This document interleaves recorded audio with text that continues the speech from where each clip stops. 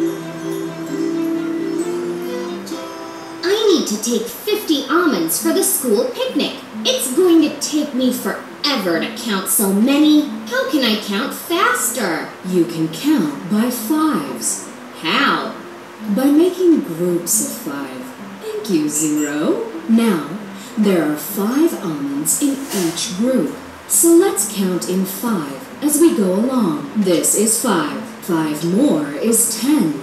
Then fifteen, twenty, and twenty-five. Got it.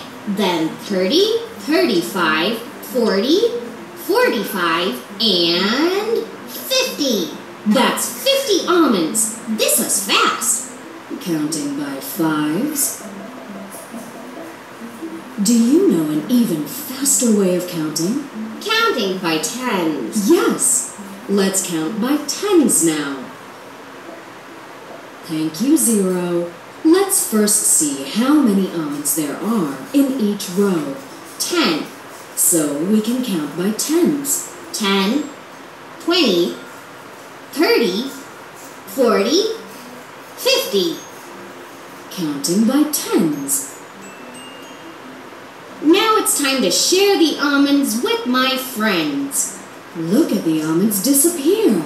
I can reverse count as they go 50, 40, 30, 20, 10, and 0.